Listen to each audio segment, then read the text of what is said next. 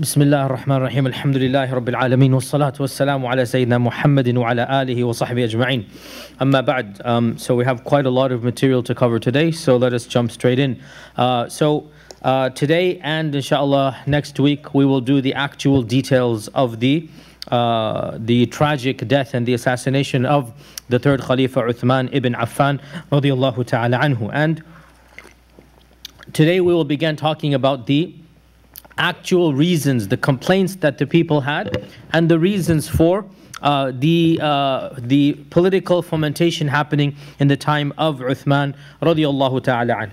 Now, in a nutshell, the assassination of Uthman uh, and the subsequent major battles that took place uh, after the death of Uthman, in reality, you can say that there's one very simplistic reason for this uh, occurrence.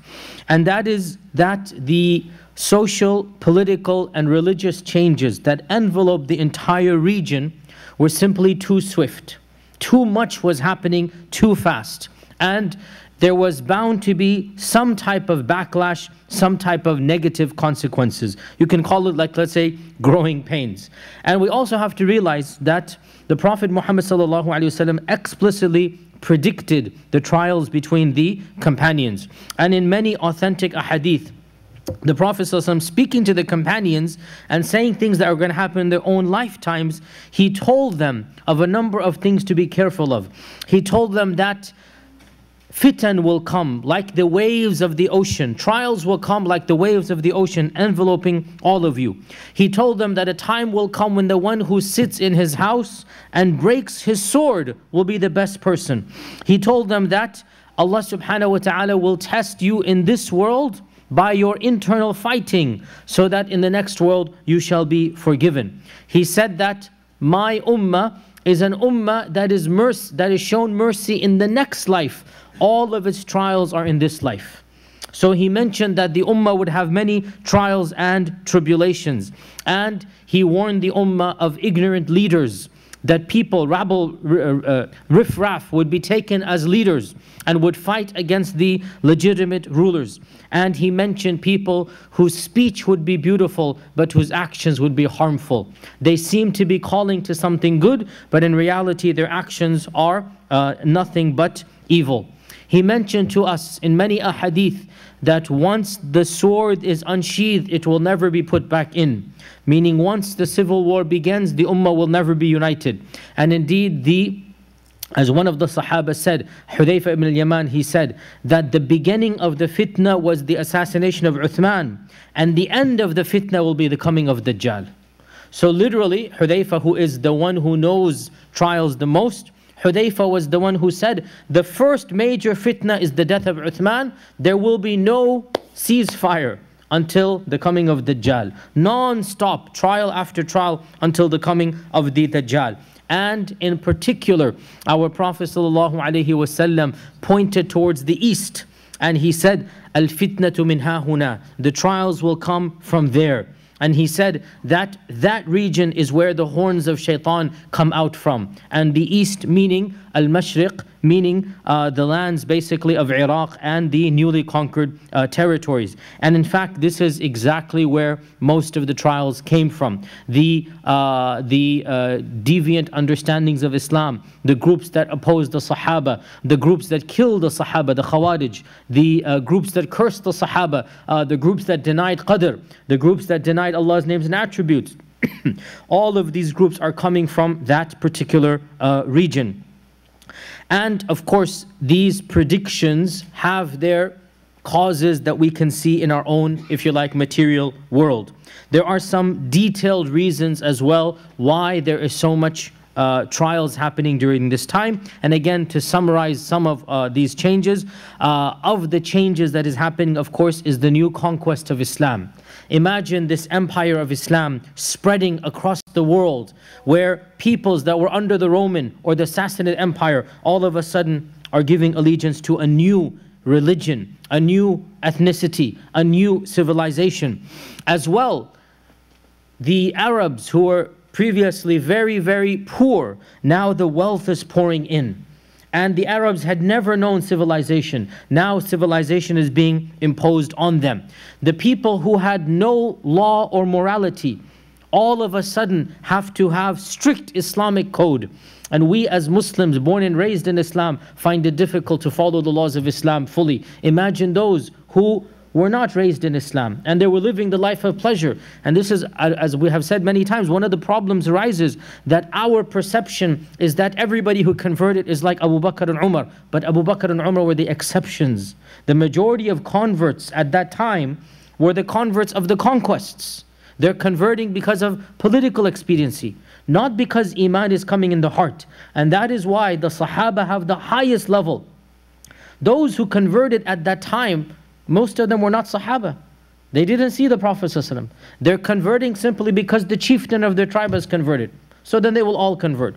Or they're converting for political reasons. And that's why when the Prophet ﷺ died, most of the further Muslims away had become murtad, as we know. Now imagine in the time of Abu Bakr and then Umar and then Uthman, all of these civilizations are conquered. Many of them embrace the faith. Even those that don't embrace the faith, they're not necessarily happy at status quo. And with the money coming in, the civilization changing, it is only natural that fault lines are going to grow. And it was during the uh, time, therefore, of Uthman where the first earthquakes, the first, if you like, uh, signs began. And you can add to this as well pre Islamic Jahili tendencies, tribalism. Remember that the Arabs were a tribal society. Islam came and attempted to solve that, but the reality was that people will remain people. And our Prophet ﷺ said, Four are the things from Jahiliyyah, my ummah will never get rid of them. No matter how much, they will never be gotten rid of. And number one is tribalism, al-fakhru bil-ansab. Four are the things from Jahiliyyah, my ummah will never get rid of them. And number one amongst them is what is now basically, we would call it nationalism, the pride of one's ancestry, where you come from, where is your nation state, or in those days, where is the uh, your, your tribe from. And realize that much of the uh, problems that are coming are criticisms of the Quraysh and also in particular of the Banu Umayyah. So there is this sense of jealousy, and one of the criticisms is that Uthman preferred the Banu Umayyah, that there is this sense of tribalism. Some have also uh, pointed out that uh, there was also a sense of greed amongst the new converts, those that were not Sahaba, when they saw the Sahaba being treated uh, financially in a very positive manner. Remember, when the money is coming in, uh, Umar uh, and Uthman continued this, gave Sahaba stipends according to their seniority. Now, imagine a person who's just converted in Iraq or in uh, Egypt or whatnot, and he doesn't have that stipend. He doesn't have that. And it's only natural there's going to be a resentment. Why should he get it? It's not in his mind that he is a Sahabi.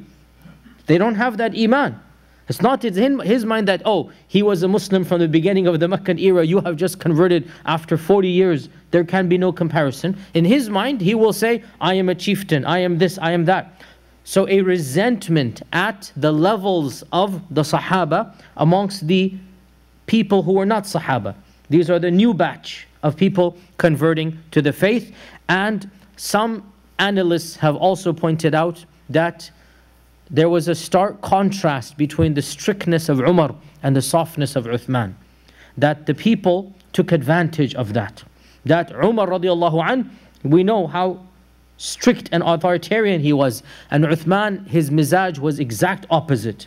And so some have pointed out that with that exact opposite, the softness and the gentleness, it's understood that some people are going to uh, basically find fault with, uh, with what's going on and use Uthman basically as a fake excuse, which is really the, the reality of what it is. That the criticisms that they had against Uthman were not legitimate. But what's happening is all of these factors, the social, the cultural, the religious, all of these factors is being manifested against criticisms of Uthman. Now, before we begin the actual uh, criticisms, uh, the disclaimer, disclaimer that I've given in many, many lectures uh, before in the seerah many times, but especially in early Islamic history, that we cannot take uh, books of history at face value. We have to be a little bit more critical because what has happened is, well, firstly, every book of history is written at least three centuries or more after these incidents. So At-Tabari is written 310 Hijrah. Ibn Kathir is coming 700. These are the two most authoritative.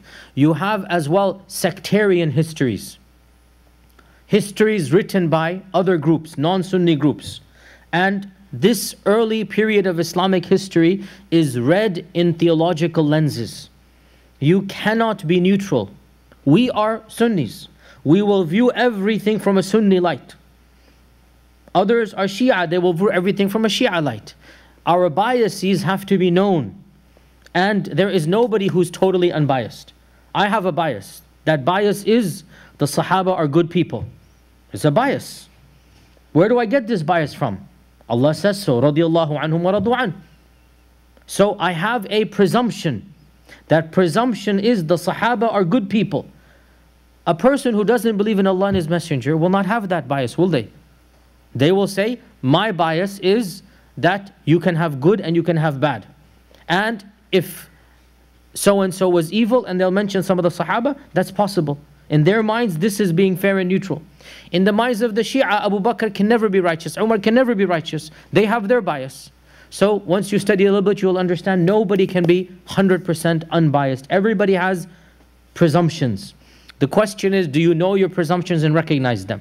And we recognize our presumptions. Of those presumptions is that it is simply not possible that those who believed in the Prophet in early Islam, and especially the Ashara Mubashara, and especially in this particular incident, Uthman ibn Affan was guilty of a major sin. It's not possible. After all the ahadith, after all of the verses of the Quran, after the Prophet himself saying multiple times, it doesn't matter what Uthman does after today, he has been forgiven. We take these ahadith and we form our understanding of Uthman based upon them. And other groups, the Shia groups for example, will have their interpretations. For them, Uthman is not a righteous person from the beginning. So they will interpret according to their uh, understanding. As well, they have their versions of history. If we have a Tabari, they have their versions written after At-Tabari. And uh, typically speaking, their chains of narration are almost non-existent. And the versions in those books at times is radically different than the versions in our books. So we cannot just find any book and open it up and say, oh, it says in this book. Doesn't matter what the book says. We have to be a little bit more uh, critical and use our sounder methodology. What is our methodology? Well, alhamdulillah, for us as Sunni Muslims, we have the concept of isnad. Isnad is, what is the isnad? The chain of narrators. We have the chain of narrators. And for us as Sunni Muslims, we look at every report through that chain and we verify is it an authentic chain or not. Now this is great for most of the reports. The problem comes that much of early history is reported without isnad because that's the nature of early history. And we mentioned this in the seerah many times. Even in the seerah, how much do we actually know uh, of so many incidents? We just have bits and pieces here and there. How much is actually going to be recorded? And one final disclaimer before we actually begin, and that is uh, the methodology of Sunni Islam when it comes to these early uh, problems is that anything that concerns the Sahaba, we gloss over and don't go too deep over. We simply let it be. And especially when we get to Ali radiallahu anh. Right now, it's between Uthman and the rebels. There is no Sahabi who participated in the killing of Uthman. So we can go a little bit deeper. Today we will go a little bit deeper. But when we get to the next year and the fitan of Ali radiallahu anh and the time of Ali radiallahu anh, the methodology of Ahl Sunnah is to skim over and not go deep. As Imam Ahmad famously remarked when he was asked about the fitna between the Sahaba, he said, That was a time frame Allah saved us from having to unsheath our swords. So, Alhamdulillah, we weren't there. Now, let us save ourselves by sheathing our tongues, by controlling our tongues. Okay, this is the main philosophy of Ahlul Sunnah wal Jama'ah. What happened, happened. There's no benefit to go into detail. He said this, she said that, what happened here? Because in reality, we respect both sides when it comes to the, the time of Ali radiallahu anh. Not the time of Uthman. The time of Uthman, obviously, it's much easier because the other side is not Sahaba. The other side is rebels trying to kill him. But when we get to the next generation, we'll go much more gentler. And the fact of the matter, I'm telling you from now, we will not go deep reports because there's simply no benefit at all. It's like a very bitter argument you've had with a loved one. Okay? Now that the argument is over, who benefits to go back and say, oh, you said this, she said that, he said, who benefits? Khalas, it's over, done deal, move on. It's better for everybody concerned. And that's our philosophy. We love both sides. We love Aisha radiallahu anha. We, love Talha. We love uh, Abdurrahman ibn Auf. We love uh, uh, Ali radiallahu anhu. We love every one of them. So we keep our tongues quiet. As for Uthman, it's a bit easier because the other side is not uh, Sahabi. So let us begin. Today, inshallah ta'ala, what I'm going to do, I'm going to go over all of the complaints, inshallah, as exhaustive as I can that they had against Uthman, all of them.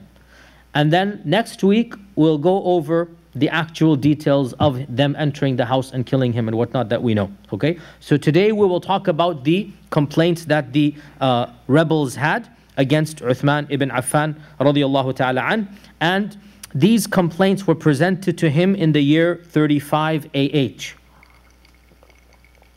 In the year 35 AH, when a group of, of these rebels left Egypt and decided to basically perform Umrah and uh, eventually the Hajj of that year. Remember when you performed Hajj, it's not like us, we'd go one day before, get to Mecca, then we go for Hajj, we'd come one day after that. In those days, Hajj was like a three, four month event.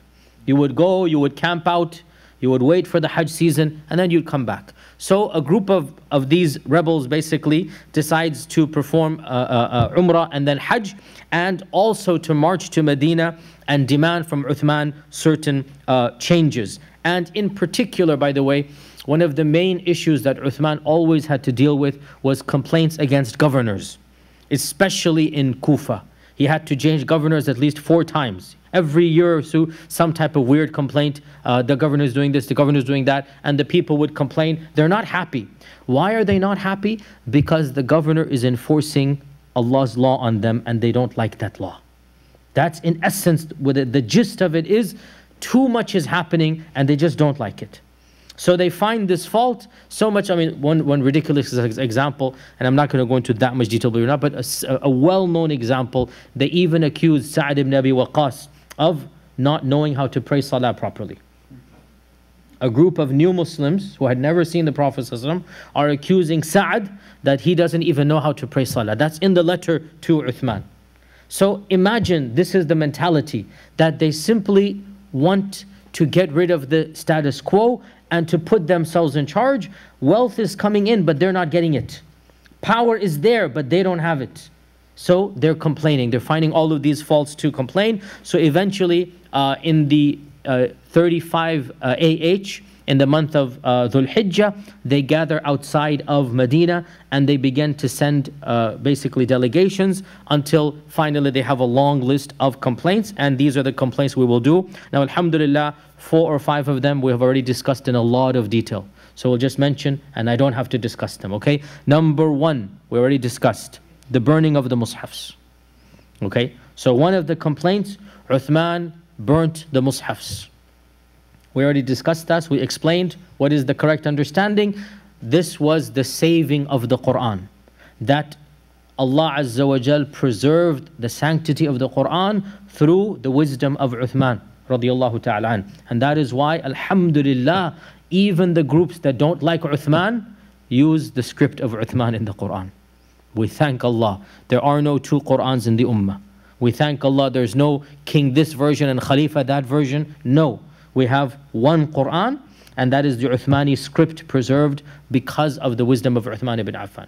That's the first one. But that was the complaint that he ordered us to burn our copies of the Quran and he kept a copy for himself. Now you will see every complaint, it has a kernel of truth. but you read in evil meanings and incorrect interpretations. Every complaint.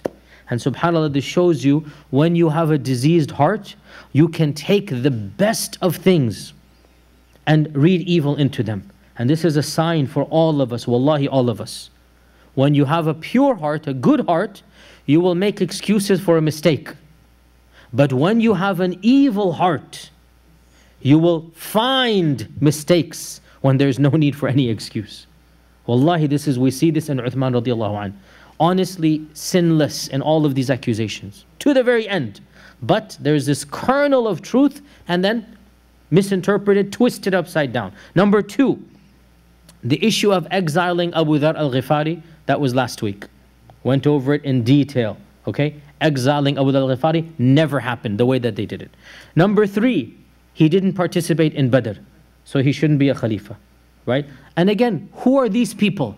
And again, every one of these complaints, who do you think you are to bring these complaints to Uthman? What right do you have as nobodies to bring tell to Uthman that he didn't participate at Badr? You didn't even see the Prophet ﷺ, much less do anything in his lifetime. But again, this is a part of that. So we talked about that. And we say that in fact, it is considered that Uthman participated at Badr. He is considered a Badri. And how do we know this? What's the evidence?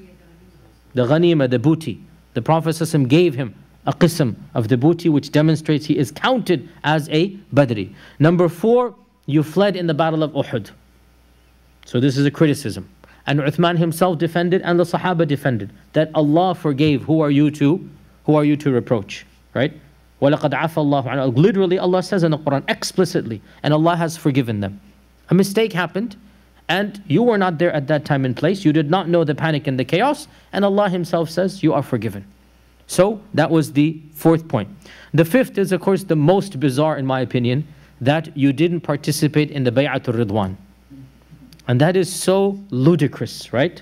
You didn't participate in the Bay'atul Ridwan. And Bay'atul Ridwan took place to defend Uthman. And not only that, but the Prophet Prophet's left hand was Uthman ibn Affan. How can you criticize Uthman? The Prophet's left hand was put in his own right hand, and he said, This is on behalf of Uthman. And our scholars say this is the highest honor that Uthman was given. That the Prophet took his own hand and he acted as if it was the hand of Uthman ibn Affan. And he said, If Uthman were here, this is what he would have done. Okay, so this is also um, the, the, the point to be mute. So these five we've already covered in a lot of detail. Let's get to the sixth point that we haven't covered now. The sixth point, they said that Uthman had prevented the people of Medina from using public pastures for their animals. So this is called in Arabic the issue of, uh, of al-hima. And al-hima is a land that has been protected. You can't go there. And they said you have no right to acquire land and deprive the Muslims of using that land for their animals. And uh, technical point, and Uthman ibn Affan had in fact taken some lands outside of Medina. They say where Masjid al-Ghamama is today. Uh, they had, he had taken some lands outside Medina and he had forbidden the people of Medina to take their animals to that land. And he responded and explained. As for the issue of al-Hima, it was first begun by Umar ibn al-Khattab when he demarcated certain lands for the camels of sadaqah and jihad. That the camels that are owned by the state for sadaqah, for the orphans, for fighting, he allocated for them a certain land. That this is for the camels owned by the state. And he said, In my time, the animals increased a large quantity, so I had to increase the land. And he said, O people, this land is not for my personal animals. I only own two camels that I use for the Hajj and for the jihad. This land is for the camels of sadaqah and of jihad for the armies. So, in other words, the land that he had made private and forbidden local Muslims from grazing there was used by the camels of the state. Simple. There's no, he's not acquiring it for himself. And that was the response to uh, that, okay? So number six basically is the acquiring of land, but he said this is not for me, it is for the state. Number seven, that they criticized him for performing dhuhr in Hajj in Mina four rak'at instead of two. And again, think about it. So what if he did? What has that got to do with you marching from Basra and from Iraq and petitioning and demanding that he resign? Because that was their point, you have to resign. Because you prayed dhuhr four rak'at. Now, what is the story here? So, for those of you that have done Hajj, you should know that the Hujjaj, they pray two rak'at in Mina. Okay, they pray two rak'at. And that is the sunnah of the Prophet and Abu Bakr and Umar. Uh, Uthman radiallahu um, during one of his years, he switched over from praying two to four. And he began praying four for the last few years of his life. Now, why did he do this? Fuqaha to this day are scratching their heads, trying to find a reason. Some say this, some say that. Uthman ibn Affan himself, it is reported, he said that I have taken Mecca as a home, so I cannot pray qasr in Mecca. And some scholars have said maybe he purchased some property in Mecca, maybe uh, he married from a, one of the women in Mecca. Whatever, we don't understand. For some reason, he interpreted himself as not being musafir. Whatever his ijtihad, right? Most of the scholars of fiqh disagreed with Uthman's opinion and they said even if you're musafir, the hujjaj, sorry, even if you're Makkawi, even if you're from Mecca, the hujjaj pray two rakat. In Arafat, in, in Muzdalifah, they pray two rakat as a rukhsa for even the person from Mecca. Okay? This is the position of the vast majority of fuqaha. Still, Uthman made an ijtihad. What has this got to do with you guys complaining and telling he needs to leave? So Uthman explained himself and he said that I consider myself a muqim of Mecca. Why? We don't quite understand. Why? Most likely he had purchased property. But still, again, what has this got to do with the complaints that's another issue which is irrelevant. Number eight. Number eight.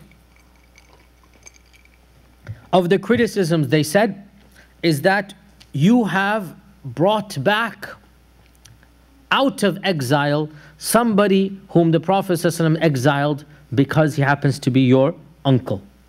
So this story requires a little bit of explanation one of the uncles of Uthman, his name was Al-Hakam ibn Abil As, his father's brother, Uthman ibn Affan ibn Abil As. So Al-Hakam ibn Abil As is his actual blood uncle, father's brother. And Al-Hakam's son was to play one of the most important roles in Islamic history, and that was Al-Hakam's son. Al-Hakam's son. Marwan ibn al-Hakam. Marwan ibn al-Hakam. Who is Marwan ibn al-Hakam? Marwan ibn al-Hakam eventually, be, right now he's the secretary of Uthman, then he's going to become the governor, then he is going to become the Khalifa of the Muslim Ummah. Another, what is it now, 30 years down the line? He is going to become, no, 20 years down the line, 20, 22 years down the line. Marwan ibn al-Hakam will become the Khalifa of the Ummah. And Marwan ibn al-Hakam is the father of Abdul Malik ibn Marwan. And Abdul Malik ibn Marwan had four khulafa as sons, one after the other. The only khalifa in our history who had four sons, khulafa, and in between was Umar ibn Abdul Aziz. In between that, right? So this is Abdul Malik ibn Marwan ibn al-Hakam. By the way, so what happened? Muawiyah, of course, is the founder. Muawiyah's son is Yazid. Yazid dies. Yazid has a son, Muawiyah, Ibn Yazid ibn Muawiyah. Muawiyah was 19 years old, the, the grandson of Muawiyah. Muawiyah was very young and very sick, and he dies within a year or two, and he doesn't have a son. So, after Muawiyah's grandson, Muawiyah, dies, Marwan the cousin of Uthman, becomes the Khalifa. And all of the Khulafa of the Umayyads come from the line of Marwan. other than Muawiyah and Yazid and Muawiyah. The rest of the Umayyads are not from Muawiyah's lineage. They're from Banu Umayyah, because again, Muawiyah and uh, Marwan are second cousins. So they're from the Banu Umayyah, but they're not from the line of Muawiyah. They're from the line of Marwan. This Marwan, this is the Marwan. So Marwan's father is Uthman's uncle. No, uncle. Marwan is the cousin of Uthman. Mar- first cousin. Marwan's father is the uncle of Uthman. Now, according to some books of history, when the Prophet conquered Mecca, some of the bitter enemies of Islam were asked to leave Mecca and settle in Ta'if. And of them was Al-Hakam ibn Abil As. Of them was Al-Hakam ibn Abil As. Now, it is unclear what happens to Al-Hakam. According to one report, he eventually is allowed to return to Mecca. And according to another, he remains in exile, uh, basically, uh, from uh, Mecca. Now, um, Ibn Taymiyyah responds to this allegation that how can Uthman have brought Al-Hakam back? And Ibn Taymiyyah says that firstly, the whole story of Al-Hakam being sent to Ta'if in exile is not something that any book of hadith reports. It's something that is simply found in the myths and the fables of later uh, historians, and Allah knows if it's true or not. We don't know. Secondly, he said that even if he was sent into exile, he was sent to Ta'if. That has nothing to do with Medina. And Uthman tells him to come to Medina. Has nothing to do with Medina. Thirdly, even if he was sent into exile, this does not imply that the exile cannot be rescinded at a later date. You send a person into exile for a year, for a two, for five. Uthman, as the leader, does have the right to rescind the exile. So even if he brings him back, that is his right and not any problem in that. And then, fourthly, Marwan in all of this exile is sinless. That's his father. And Marwan only left Mecca. Now, by the way, is Marwan a Sahabi or not? Marwan is considered to be a special category of Sahaba, those who saw the Prophet as a child. So, Marwan is a young boy at the time of the conquest of Mecca. He must have seen the Prophet, ﷺ, but he's not interacted with him. Okay, he's probably five, six years old, and he sees the Prophet, ﷺ, but he doesn't actually interact with him. So, this is a category of Sahaba that, yes, technically he is a type of Sahabi, but he's not the type that has basically narrated from the Prophet ﷺ or interacted with him. Marwan has not reported any hadith.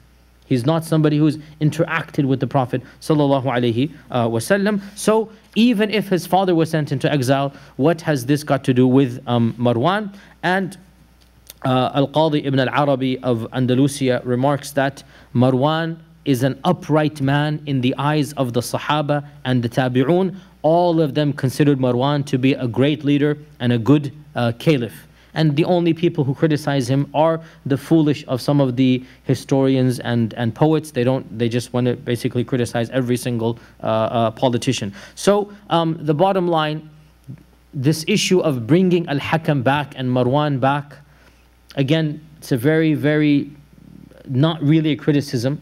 He has the right as the Khalifa to, after 20 or now 27 years have gone by. So if he decides to bring Marwan from Ta'if to Medina, what has that got to do with the fact that he was told to leave Mecca? If this is true, and also what has that got to do with Marwan? Even that would have been Al-Hakam, not Marwan. Okay, so this is the next point of criticism. Now, one of the more complicated stories, which I kind of left till today, is another criticism involving a Sahabi. And that is Ammar ibn Yasir. Ammar ibn Yasir. Ammar ibn Yasir and Uthman ibn Affan. This is another big story, like Abu Dhar and Uthman radiallahu. And I will not go into that level of detail as I went into Abu Dhar, but in a nutshell, uh, this is one of those stories where once again you find various narratives amongst Sunnis and Shia that are really contradictory to one another. Okay? Now, remember, Ammar ibn Yasir For the Shia, he's one of the arkan. Who are the arkan? Remember what's the arkan? There are four Sahaba who are considered to be supporters of Al Bayt. Okay? And Abu Dhar is one of them, and Salman al Farsi is one of them, and Ammar is one of them. So, from the perspective of the Shia, Ammar is loyal to Al Bayt, so he is, they call him Arkan, we call them Sahaba. For us, for, for us all Sahaba are Sahaba, for them there's only four. And Ammar is one of them. So they have a version of events where this is all exaggerated. The tensions between Ammar and Uthman. And we have a version of events where some minor things happen, just like with Abu Dhar, and the other group has really blown it out of proportion. So what is our uh, what is our standard narrative? And again, the problem comes unfortunately too often in Sunni trends. You have those later historians and later analysts who try to sugarcoat everything and they try to pretend as if nothing happened. And in my opinion, this actually causes more problems. That you will find many people say, oh, there was no tension between Ammar and Uthman radiallahu anh. And this causes more problems because Al-Dhahabi, Ibn Kathir, Ibn Taymiyyah, they all mention these tensions. But what happens is, as you go further and further away, you get these people who want to just sugarcoat, make sure there's no issue. So that, and, and they want to present a very rosy narrative. But when you do that, all you have to do is go back to the books and realize there was something going on. So, what is the um, kernel of truth? Well, in a nutshell, it appears that Ammar ibn Yasir, now of course Ammar ibn Yasir, who is Ammar ibn Yasir? His father and mother were the first martyrs, right? And Ammar himself was around 16 uh, when the Prophet ﷺ consoled him and told him, Don't worry, you can uh, say words of kufr if they punish you. Remember, they were punishing him, the Quraysh. And, uh, and he came crying to the Prophet and he said, I, I was forced to say things that I, I, didn't want to say. And Allah revealed in the Quran that if you say things when you are forced, then um, no problem, Allah will forgive you. So this is Ammar. Ammar has proven himself, he's one of the greatest Sahaba, and many ahadith about him. When we get to Ammar ibn Yasir, we'll talk about uh, the ahadith about Ammar ibn Yasir. So Ammar radiallahu an did seem to have some criticisms of Uthman's policies. And it is allowed to disagree with the Sahaba on their policies. It's nothing wrong with that. The Sahaba, we don't say anything about their intentions. We don't criticize their loyalty to Allah and His Messenger. But we do not have to agree with their ijtihad about how to run the government, about who to appoint about their politics, their economics. We don't have to agree. we can say, oh, well, that was their ijtihad, and there are others as well. And especially Ammar himself, he has the right to disagree. As a, as a person of the society, as an upright member, as a person who goes back to the beginning of Islam, he has a right to disagree. And he had some complaints about Uthman's policies. And it is said in um, some of our books that Ammar took with him uh, another Sahabi, uh, Sa'ad most likely ibn Abi Waqqas, and he said, Come, let us present our complaints to Amir al Mu'mineen. Come, let us go and present what we have, complaints to Amir al Mu'mineen. This is before the uh, rebels are outside. This is way before. This is a few years before. Okay, this is when things are calm in Medina. So they go to the house of Uthman, but the guards are standing outside or the not you call them the bawab the people that are basically the gatekeepers whoever is going to be you know you can't just walk in to the house of the khalifa you have to have protection. So you have the whatever the secretaries or the not the secretaries you have the guards the the, the doorkeepers whatever they are. And they say go tell him that Sa'ad and Ammar are at the door. They go inside and Uthman ibn Affan sends the message not now tell them to come at that time and we'll have the discussion then. Whatever he was busy at the time he said we'll have another meeting with them so the guards go and tell Sa'ad and Ammar that not now, come back at this time. Sa'ad leaves. Ammar radiallahu an insists, no, tell him to come right now. I want to meet him right now. And the guard says, he has said, no, it's not going to happen now. Come back in this time and place. And tempers rise, voices are raised until the guard takes out his stick and hits Ammar to leave. And of course, this is a big blunder. Who are you, O guard, to hit Ammar? Who is Ammar and who are you? This was a big blunder. And this was a mistake, and there is no question that the gatekeeper or the guard went beyond what he should have done. This incident, which has been narrated in our books, if you look at the equivalents in Shia histories, you will be amazed. The references in those books are that Ammar was whipped and tortured by the guards of Uthman. That Ammar's entrails and intestines were on the floor out of the whipping. That he fell into a coma for days because of this brutal whipping. And the reality is, nothing like this happened. There was a kernel of tension, and that tension was indeed the result of complaints that Ammar had. And those complaints, unfortunately, a beat was had on the back of Ammar. And when the complaints came back to Uthman from the rebels, and they complained that you have mistreated Ammar, what did Uthman ibn Affan say? He said, That was something my guards did without my command nor even my pleasure. I never wanted them to do this. And if Ammar insists, here is my back, I give it to him for qisas. Like you can hit me as well. That you're right, I, that was not should not have happened. And if Ammar wants his right back, even though I didn't command it, even though I'm not happy at it, but if Ammar insists, here's my back, tell him. I mean, who are you to complain on behalf of Ammar? Right? And Ammar obviously did not want that to happen. And in fact, and this is here's the point here that I think if you're honest is always the best. When you look at our books of history, there's no question, in my opinion, that Ammar radiallahu anh had some points of criticism about Uthman's policies. But Ammar had nothing to do with the rebels. I mean, I can disagree with you without wanting to harm you right? I can disagree with some of your policies without wanting you to be killed. And when the rebels surrounded the house of Uthman, Ammar was of those who criticized the rebels. And in fact, it is narrated that at the end of the siege, as we'll come to next week inshallah, at the end of the siege, when the rebels cut off even water being delivered to the house of Uthman, I will explain the story and why and how and why did nobody intervene. Uh, that will be next week, inshallah ta'ala. When the rebels cut off water being delivered, it was Ammar who stood up in the masjid and said, This was a man who purchased Bi'r for the Sahaba to drink water from. And now you stop him from getting a glass of water. So it was Ammar who criticized the rebels for laying the siege to Uthman. How then can you flip it around as the other group does and claim that Ammar was on the side of the rebels? So, honesty is the best policy. Yes, there were some slight tensions between Ammar and Uthman, but Ammar never rejected the Khilafah of Uthman. You don't have to agree with every policy. You have the right to criticize, right? How many of us, we might even like a particular person, but uh, we don't agree with each and everything that he does. This is human nature, isn't it?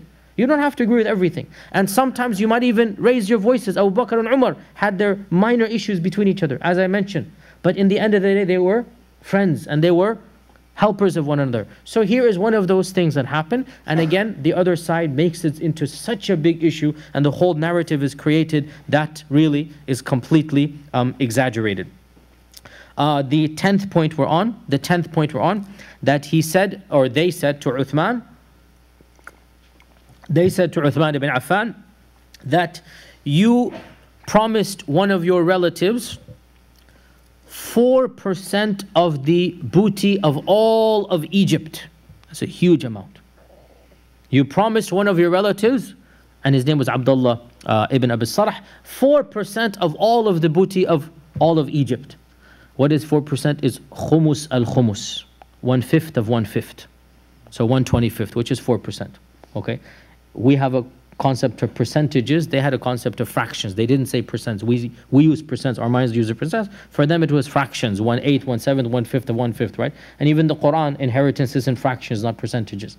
So they have a different way of looking at numbers. We have a different way of looking at numbers. So the accusation was, you promised your relative 4%.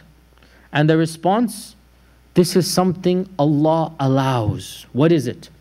In the Quran, so who was this relative? He was the commander of the second conquest of Egypt. The first conquest is Amr in the time, time of Umar. The second conquest, which took place beyond Egypt, was under Uthman's reign. And the commander was this very Abdullah.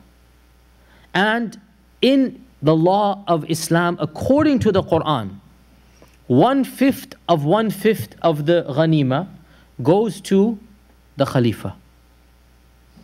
Okay? One fifth of one fifth. And Uthman gave his share to the commander as an incentive to win the war. There's nothing wrong with this whatsoever. It's his share, he has the right. And Uthman said, if you victorious, the khumus al khumus is yours. And the rebels then say, you are preferentially treating your relatives. You see where, again, this notion is coming from. Complete exaggeration out of a kernel of truth. This was a legitimate share that Uthman should earn himself. And rather than taking it himself, he gave it to the commander. This is the commander of the army as an incentive. And guess what? It worked. The commander won. And because of that, Alhamdulillah, Egypt and what is beyond is Muslim land. So, again, nothing is wrong with this whatsoever. Now we get to the 11th point of criticism, and this is really the most awkward and the most difficult one, and it is also the most famous point of criticism that all of you have heard, and unfortunately, many people believe. But you have already seen the previous 10 points, how ludicrous they were. Why is it then that we don't have the same skepticism for the 11th point? What is the 11th point? What is the main criticism against Uthman? Who can tell me? Nepotism nepotism. Okay? This is the main criticism that to this day is in the minds even of many Sunni Muslims. And subhanAllah, we have just gone over 10 points. Each one we have shown how false, how shallow it was.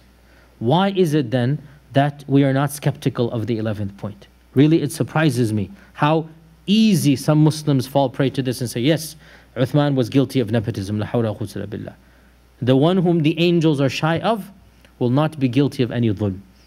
And we will talk about this right now.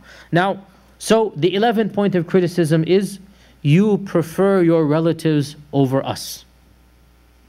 And that was a criticism that the rebels had. You prefer your relatives over us, you appoint your family and the Banu Umayyah, and you give them preferential treatment. Now, once again, there's a kernel of truth, right? That's the whole point. There's a kernel of truth, and the response is that it's a little bit more complicated than this. Now, realize that the previous two Khalifas, Abu Bakr and Umar ibn al-Khattab radiallahu anh, which tribe is Abu Bakr from? Banu? Banu Taym, very good. Which tribe is Umar from? Banu Adi. Okay. The tribe, the sub-tribes, obviously they're all Qurashi. Abu Bakr, Umar, Uthman, Ali, all Qurashi. The Banu Taym and the Banu Adi were literally less than the fingers of one hand. Just a few. And the fact of the matter is that there really were no major Sahaba from those sub-tribes to have been appointed anywhere. Of the Quraysh, there were two large tribes the Banu Hashim and the Banu Umayyah. These were the only two tribes that actually had a few dozen people in them, the two sub tribes. How many sons did Abdul Muttalib have? Remember, right? More than 10. 10 was what he promised Allah if you give me 10, I'll, I'll sacrifice one. He had more than 10 sons. And Umayyah's children as well proliferated. So, from a purely statistical perspective, you have more people from the Banu Umayyah anyway than from the other sub tribes. And another point, therefore, is that you cannot ignore the fact that the quantity of people from the Banu Umayyah is significantly larger than that of many of the other sub tribes of the Quraysh. As well, if you look at the number of uh, the names of the appointees of Uthman ibn Affan, you will see that in reality he appointed Ansar, he appointed non Qurashis, he appointed Qurashis from other than Banu Umayyah, and yes, he appointed some from the Banu Umayyah as well. Simple reading of the lists of governors, simple reading of the list of appointees of Uthman will disqualify the notion that there was blatant preferential treatment. Uthman ibn Affan radiallahu an did not appoint the majority of posts from his kith and kin. There's no question about this. All you need to do is to look at the names of the uh, appointees. However, since the number of people from Banu Umayyah is more than from other tri tribes, and since they are indeed from the Quraysh, yes, it is true that we have a small yet not insignificant percentage of appointees from the Banu Umayyah. Is it statistically more than what would have happened anyway? We don't know because how many were non Qurashi, how many, we don't know. We really don't know. But in the end of the day, it is clear that there is no blatant, clear cut nepotism. It's not as if all other positions are being blocked and only the Banu Umayyah are being given this position.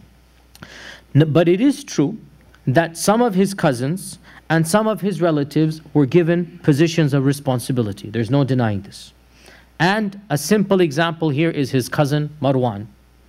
His cousin Marwan, who is 40 years his junior, 30 years his junior, actually more than 40, 40 years his junior. His cousin Marwan is appointed his katib. And the katib here, in, in essence, it means his personal vizier his personal secretary, okay? The one who really micromanages, the one who's, you know, everybody has like a right hand man. And Marwan became that right hand man. And a few other cases, a cousin here or something there, that some position is uh, given. But here's the question Is it wrong for Uthman to appoint a cousin to be his most trusted advisor? Think about it. Is it wrong? Who do you trust the most in a world of tribalism? Who is the one that you're really going to assign your inner secrets to? Family. So the flip side is who else will you trust other than the people that are already loyal to you anyway? Especially when it comes to the sensitive era of early Islam. And so when we clearly look at the names of appointees and we say that there's a healthy mix, you have non Arabs, Mawali, you have Ansar, you have non-Qurashi, you have non-Umayyad Qurashi, and yes, you have not an insignificant few who are Banu Umayyah. But what this shows, blatant nepotism, no. Okay, is there indiscreet nepotism? The question is, what exactly is indiscreet nepotism? So what if he chooses his cousin over a stranger? In fact, it makes sense to choose a cousin over a stranger when it comes to such matters. So what if there's a generic position that anybody can do and he chooses people that he knows since he was a child? Somebody has to do a task. He sends a second cousin, go do this task and come back. In the end of the day, there's leeway given. And to read in nepotism is simply too harsh of a judgment, especially when it is coming from that group of critics, and especially when we see the other criticisms, how shallow they were. And that is why it is authentically uh, reported in one narration, Uthman said that, As for your accusation that I love my relatives, this has not caused me to do dhulm unto others. Meaning, of course, I love my relatives, but I haven't taken that love to do dhulm unto others. Rather, I gave them responsibilities and I called them to task for those responsibilities. Meaning, I'm going to make sure they do what I tell them to do, like I, like I do to any other position. And as for your accusation that I've given money to them, because they said you have given Marwan this much, you've given Marwan this, that much. He said, this is from my personal money and not from the Islamic treasury. For the money of the treasury is not allowed for me to take. It is 100% true that Uthman gave his family members sometimes large amounts of money. But why should he not give his own money to his own family? The accusation was you are giving large amounts of money to your family. The response was, so what? It's my money. It's not the state's money. It's money that Uthman has earned as a trader. It's money that he's already, as we know, Uthman was a person who Allah had blessed with lots of money, of the richest of the Sahaba, through buying and selling, through trading. And he was generous. In one version, he says, I who was generous throughout the time of Abu Bakr and Umar Uthman, I who was generous as a young man, now you want me not to be generous when I'm close to death? In other words, what? Do you want me to be stingy with my money, not give charity? So the accusation that he was generous to his relatives, it's true. He was generous, but that was from his own wealth. The accusation that he was practicing nepotism or guilty of nepotism, a very, very gray area. And we say, as for blatant nepotism, no, wallahi, no. As for soft nepotism, all of us are guilty of it. We prefer our friends and our relatives for neutral positions. What he himself said, my love for my family did not cause me to do dhulm to any. It's not as if somebody was qualified, I denied the job. There's an open slot, open position, and if I give somebody that I know, there's nothing wrong, and I hold him to account. He says this I hold him to account, I require from him the same job and responsibility as, uh, as others as well. And in fact, in one uh, hadith uh, reported in, in, not hadith, but in, reported in, in Musnad Imam Ahmad, he actually has an interesting statement, and he said that I ask you by Allah, didn't the Prophet sallallahu alaihi wasallam prefer the Quraysh over all the other people? And didn't he prefer the Banu Hashim over the rest of the Quraysh? Didn't he love the Quraysh and prefer the Quraysh over the other people? And the people couldn't say anything to that. So he said, if the keys of Jannah were to be handed to me, I would distribute it to the Banu Umayyah until all of them entered Jannah. Now, what is the meaning of this? It's very simple if you could choose who gets to go to Jannah, who's going to be your first choice? Your family. What's wrong with that? That's what he's trying to say. What is wrong if the opportunity is for everybody? Why is it wrong that I prefer my family as long as I'm not doing dhulm to other people?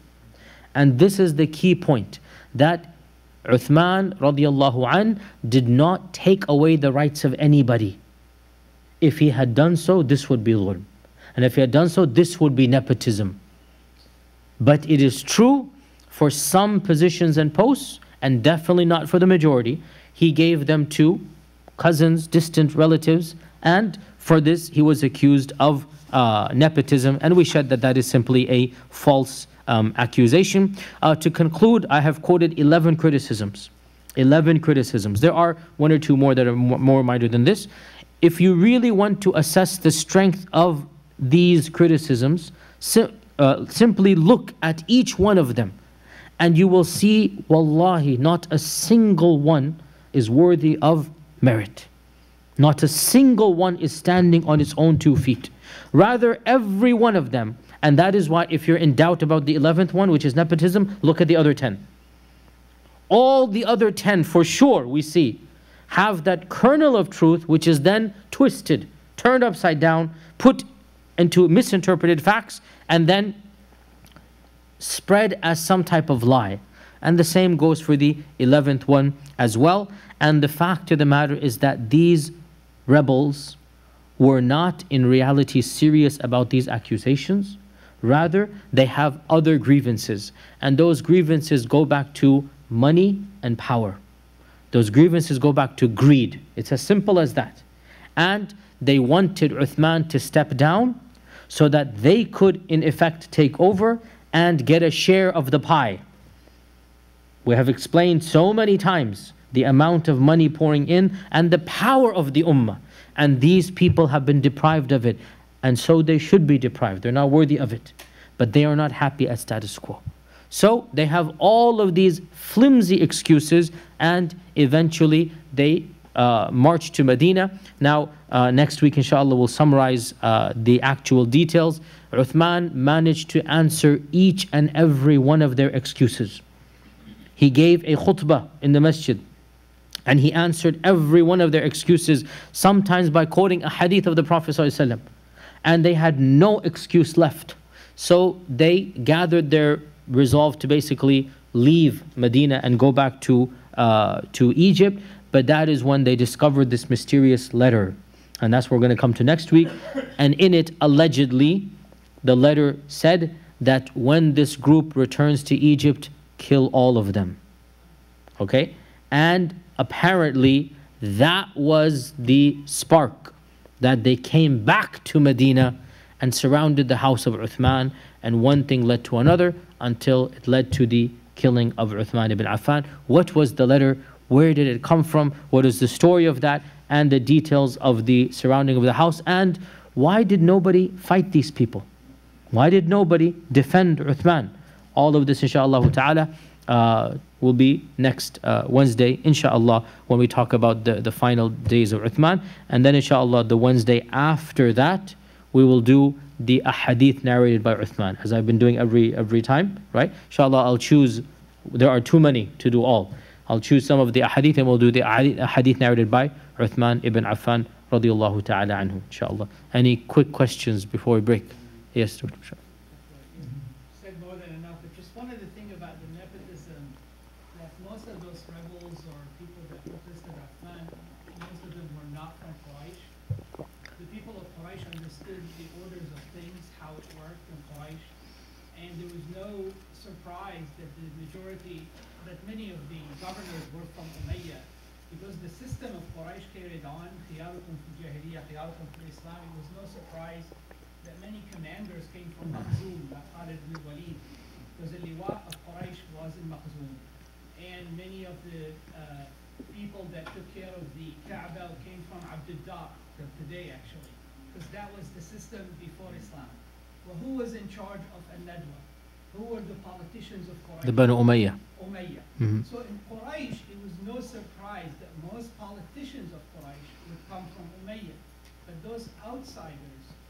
had an issue with that. And I think that's one, one thing that they did not understand. The Quraysh Excellent point.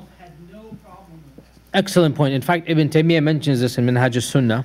Uh, actually reminded me, I should have quoted this. Ibn Taymiyyah mentions this in Minhaj al-Sunnah, that of the reasons why Uthman appointed the Banu Umayyah is that the Banu Umayyah were the most experienced in siyasa. The Banu Umayyah were the most experienced in politics. And therefore, for Uthman to choose the Banu Umayyah, because they're in fact the seasoned politicians of the Quraysh, there's nothing wrong with that in the first place. As well, the rebels were not from the Quraysh the people who killed Uthman were not from the Ansar and Muhajirun. They were from the outlying regions, primarily from Egypt, but also from Kufa and Basra. Okay, so these were not from the Sahaba at all. Uh, it is uh, authentically narrated that none of the Sahaba participated in the killing of Uthman. None of them. This was something that was from the riffraff and the new converts, not from the Sahaba. True, in the time of Ali, things happened between the Sahaba. That's going to come. But the beginning of the fitna was between Uthman and a group of nobodies. Okay, so that is also a valid point that it was not the Quraysh who were criticizing Uthman. They understood how status quo is. The main critics and all of the rebels were from these new uh, outlying regions, inshallah. Anything else before we conclude? Yes. So all these complaints, when they were presented to uh, Osman did it come to him like a surprise, all these levels of things, or he, he knew that these are kind of uh, things which are growing for a while? Did it come as a surprise? No. Some of these are uh, known for a long time, but now you have the main instigators from these cities physically coming. So again, we are jumping over a lot of sordid details. The fact of the matter is that Kufa is the prime example. They would always complain about something or other.